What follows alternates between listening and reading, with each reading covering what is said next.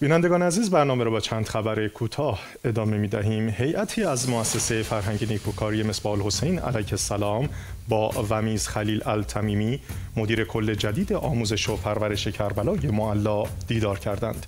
عبدالصاحب الکشوان مدیر مؤسسه ضمن تبریک از نقش او در توسعه آموزشی تقدیر کرد. در این دیدار به پروژه های مؤسسه مصباح حسین از جمله توزیع لوازم تحریر و ایجاد دبستان های ویژه ایتام اشاره و پیرامون آنها بحث و تبادل نظر صورت گرفت.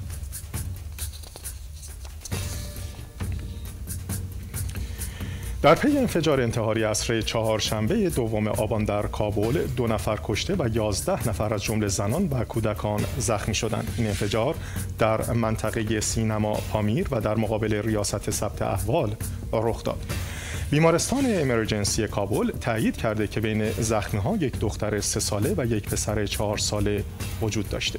تا کنون هیچ گروهی مسئولیت این انفجار را به عهده نگرفته است. اداره امور زنان ملل متحد اعلام کرد که در سال 2023 از هر ده کشته در درگیری ها چهار نفر زن بودند. این تعداد نسبت به سال 2022 دو برابر شده است. افزایش بیتوجهی به قوانین بین المللی برای حفاظت از زنان و کودکان در جنگ دلیل این افزایش اعلام شده است.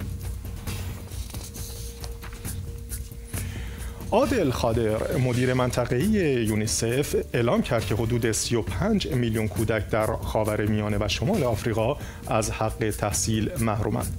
تشدید درگیری ها و وخامت اوضاع اقتصادی بسیاری از خانواده ها را مجبور به مهاجرت کرده و تخریب زیرساخت ها به ویژه مدارس مانع ارائه خدمات اولیه به کودکان شده است.